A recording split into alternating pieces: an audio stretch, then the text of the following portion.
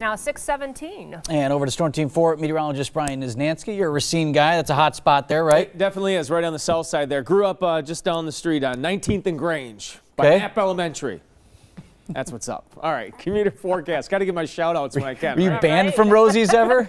Uh, not him Rosie's again. Rosie's was actually not around when I was uh, All right. Young little uh, fellow running around that neighborhood. Of the troublemaking age. Otherwise, you'd have been banned. Right. All right, commuter forecast this morning. On the way to work, 24 degrees, uh, chance of light snow.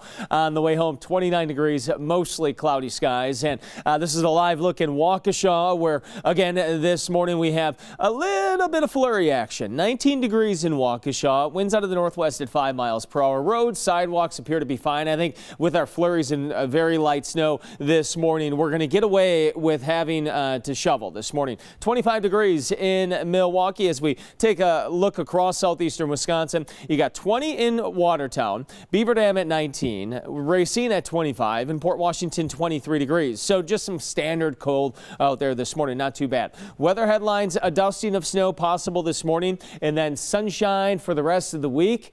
Tomorrow, Friday, this weekend, we warm up. Things are not looking like January. Storm 4 Max radar, uh, a few flurries here in Milwaukee, but an area of light snow. This is really light up towards Fond du Lac and Beaver Dam, West Bend, and Sheboygan this morning as we widen the view. Uh, the bulk of this light snow now appears to probably track to the north of us. So as we go through future forecasts, future forecast really struggles to show any snow for us. I think there will be flurries and very light snow, but uh, the bulk of the snow tracking to the north of us. 11:30 a.m. Still maybe a few flurries, and then uh, by 5 o'clock again, uh, mostly cloudy skies, eventually becoming partly cloudy overnight. And we got a lot of sunshine on the way for Thursday through the day. A southwest breeze tomorrow, bringing in some warmer air, and again, lots of sunshine on Thursday and right on into Friday. How much snow? A dusting, I think, for most of southeastern Wisconsin, if that.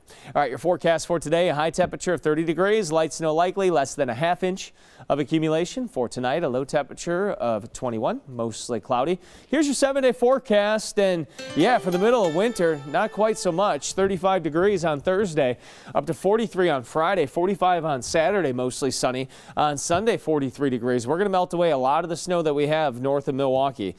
Now again, some rain likely on Monday, 40 degrees, and a few snow showers on Tuesday.